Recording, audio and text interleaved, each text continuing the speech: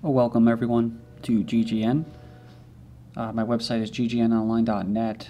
It's called Global Government News if you're new to it. I'm sure most of you are probably normal listeners, but uh, if you are new, this is it. You can follow by email on YouTube, ddarko2012 and ddarko2013 are my YouTube channels. You can find the goal of GGN and also some more information as far as who I am, what I'm doing here. This will be a short video. It, it, should actually be under 10 minutes, which would be, I think, a record for GGN. Upper Midwest struck by unusual autumn tornadoes and snowstorms. And last week's report, we pretty much covered what was going on with the big HAARP circle over three fourths of the country, aiming right at the center of it. Um, all of the aerosol spraying, gave you the aerosol um, uh, forecast. And uh, yeah, and we got what we thought we were going to get, right? A bunch of rain, and there's actually tornadoes and snowstorms. The upper Midwest was recovering on Saturday from an unusual autumn wallop from a fierce snowstorm that trapped dozens of people in their vehicles in western Dakota. Also, swarms of tornadoes left at least 15 people injured in Nebraska and Iowa. And even in the Rocky Mountains, it got hit by a blizzard that dumped, uh, what, three feet of snow. As far as the uh, HAARP status, for today goes, they're still just, I guess at the HAARP station, they're just clicking, they have the button on, and maybe they fell asleep. But either way, it's not at the high level of that purple that it was at or violet, uh, but it's still at moder moderate uh, uh, high levels. Uh, you could, you know, you can still feel it. This is here still a low, low medium uh, for most of the country. So, and I could see yesterday when the there was like some clearing up from that rain. You can see where uh, where the regular cumulus, clouds are moving kind of low.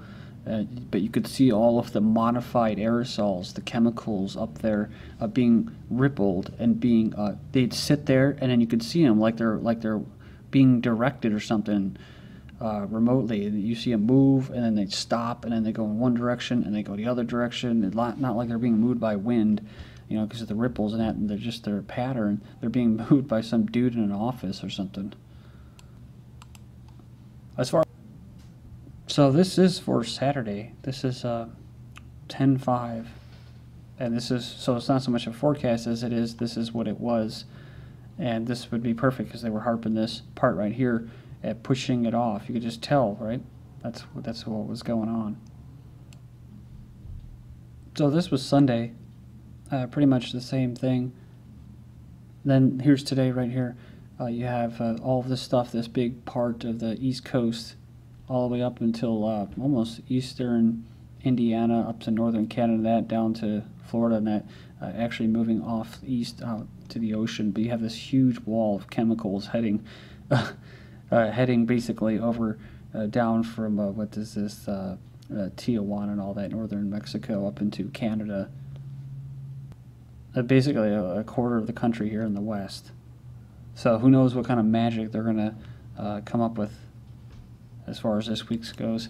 I'm looking forward to this. This is the weatherspace.com. I have an account so I can see it on weekends, but sometimes they won't make it available if you don't uh, sign on for an account. I think it's free, but you can donate to them. Uh, they're going to have a day four coming soon and a day five, so I look forward to that. Um, someone mentioned about squash bugs, and then I saw this article. Uh, stink bugs are creeping and crawling across Indiana. And um, I noticed this uh, myself all throughout the Midwest, basically. But uh, they said here that um, what they think they came from was they were hopping on, or they were coming in from China.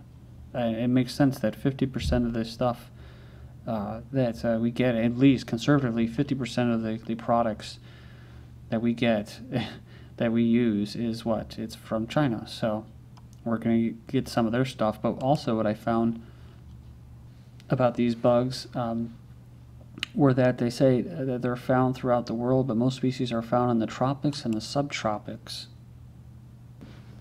So it can go either way, right? 50% uh, uh, because they're changing the weather, and 50% because they're just coming in uh, through the imports of, from China. But it's probably both. Uh, anyways, uh, that's all I have for you right now. Look at that, under five minutes. That is a record.